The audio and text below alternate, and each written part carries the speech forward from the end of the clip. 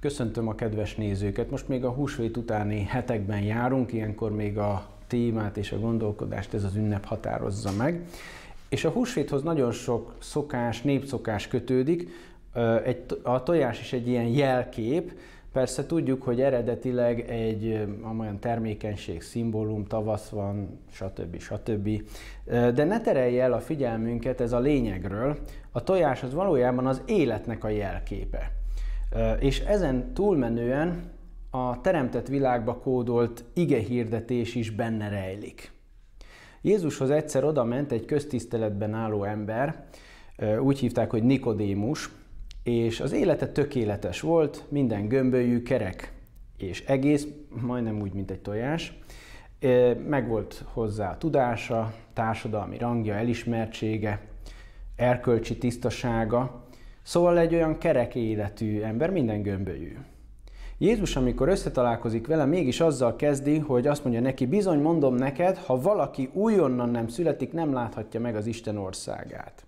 Zavarba ejtette Nikodémust ez a fölvetés, és el is kezdett gondolkodni azon, hogy mit érthetett Jézus újjászületés alatt, és miért van erre szükség, és hogyan történik ez. Egyáltalán miért kellene az ő életének másképpen lenni, mint ahogyan van? Valahogy úgy tudnám érzékeltetni, hogy a tojás, bár úgy tűnik sok mindenre jó, igazi rendeltetése mégsem az, hogy rántotta legyen belőle, vagy húsvétkor díszítsük, hanem hogy élet fakadjon belőle. Ez az igazi hivatása. A tojás megszületik, úgymond, világra jön, de ha így marad, az az, az élet, az, élet szempontjából, az igazi rendeltetés szempontjából egy zsákutca halál.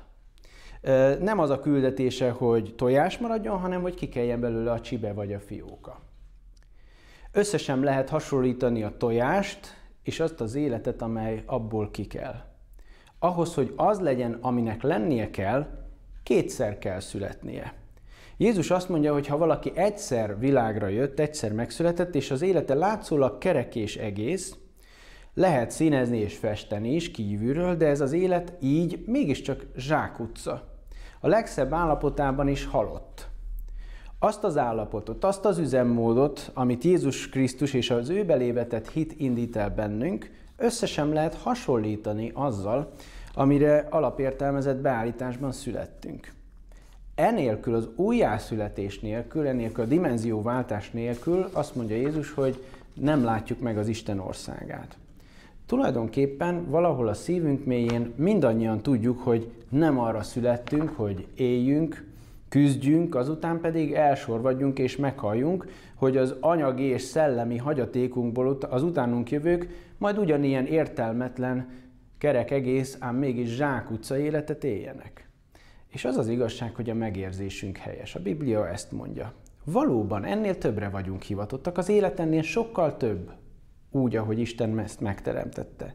Miért van az, gondoljuk csak végig, miért van az, hogy a legkerekebb élet, aki száz évet él, és ott vagyunk a temetésén, és mégis gyászoljuk. Mégis azt érezzük, hogy élhetett volna, hogy, hogy, hogy veszteség és gyászérzés tölti be a szívünket.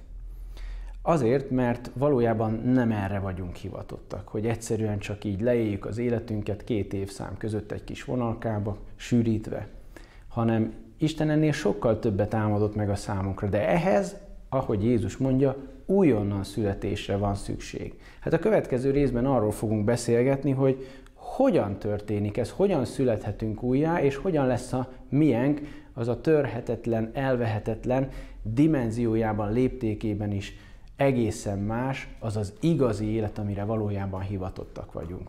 Viszontlátásra! thank